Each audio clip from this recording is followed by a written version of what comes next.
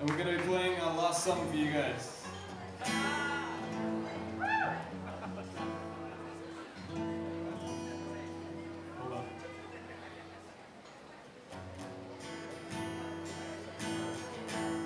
It's a popular cover,